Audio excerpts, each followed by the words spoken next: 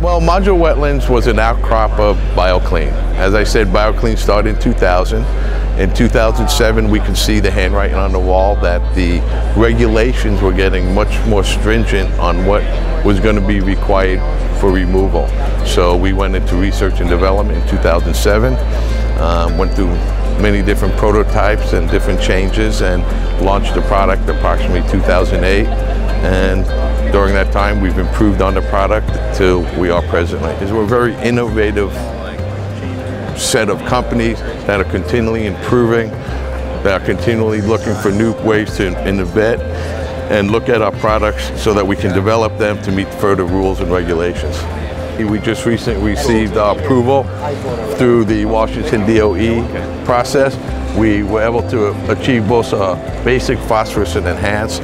We were the only company that was able to achieve that the first time around through the testing.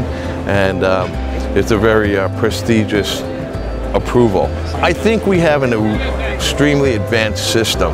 We're the only company that utilizes horizontal flow. You'll see most other bioretention systems use downward flow.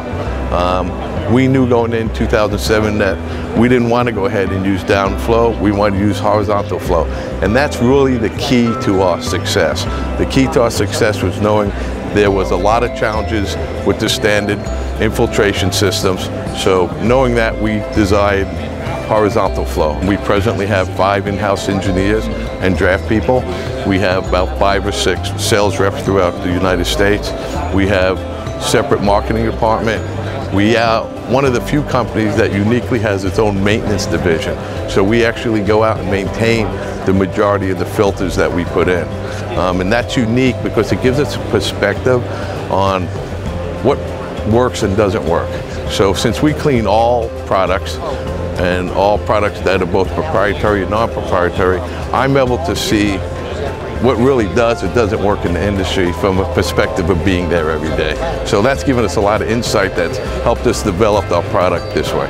Where everywhere I travel around, not only the United States, but around the world, we're seeing there's a major issue with stormwater pollution and it needs to be addressed. So a challenge for us as an industry is to keep being able to rise to better, more improved, innovative products to address that. And I think that's the key to the BioClean companies and the modular wetlands is we're very proactive in creating and being on the frontier of new products and development.